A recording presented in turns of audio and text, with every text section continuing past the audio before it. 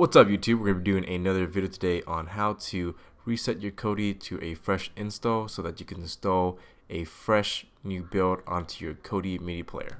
Let's begin the process on how to install the fresh start. Okay, so at your Kodi home screen, you want to head over to system, then file manager, click on that, click on add source, and then you want to click on the box here type in http colon forward slash forward slash fusion dot tv add-ons with an s dot ag make sure the link is correct and click done. And then the box here just um, name it to fusion or whatever you like. Click done. Verify the link. Verify the name of the link. Click OK make sure it says fusion here. Click on the home screen this time you're going to click on System, and then you want to click on Add-ons. Then you're going to click on Install from zip file. Select Fusion. Start here. Plugin Program Add-on Installer.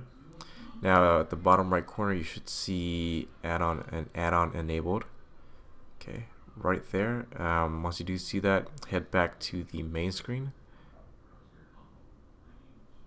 Now click on Programs. Click on Add-on Installer. And then you want to click on actually Program Add-ons.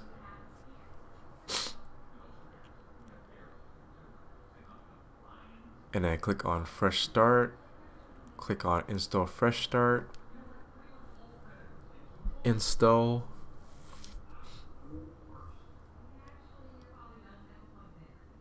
Okay, uh, now your selection have been installed. Head back to the home screen. Click on programs. Now you should see fresh start here. Double click that. Do you wish to restore your Kodi configuration? And then uh, it's like it's finished. And then what you want to do is reboot Kodi. And you should have a fresh installation of Kodi. This should have erased everything on there and then you should be ready to install a new build onto your Kodi media device. Okay, so this completes the tutorial. Please give me a thumbs up if you like the video and find this helpful. And also please subscribe to the channel and I'll thank you for watching.